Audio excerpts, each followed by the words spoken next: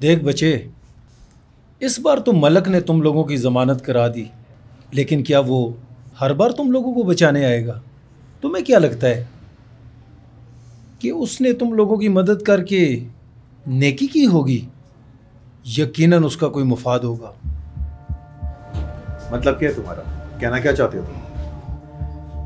चौधरी से दुश्मनी तुम्हारे बस की बात नहीं और कानून तुम्हारी मदद को आएगा नहीं। बेहतर यही है कि चौधरी से सौदेबाजी कर लो। कैसी सौदेबाजी? वो ज़मीन खरीदने को तैयार है। ऑफ़र क्या दे रहे हो? पच्चीस लाख। ठीक है मैं पहले मार्केट से रेट लूँ। ओ इतना वक्त नहीं है। और जो भी मिल रहे हैं ना बाद में ये भी नहीं मिलने। समझ गया ना? चुप करके पैसे ये पकड़ और निकल। और किसी अच्छी जगह घर खरीद लेना।